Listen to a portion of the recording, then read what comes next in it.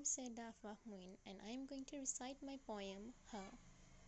Her voice so loud the sirens dare not compete. Her will so strong even the hardest diamond might as well quit.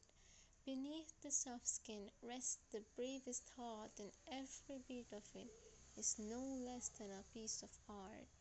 She flies with the wings of eagles, shines in the sky like a miracle, tearing the dust of gloom with the courage she holds. It doesn't matter what others may see, because what she holds within is much more than who she appears to be. Thank you.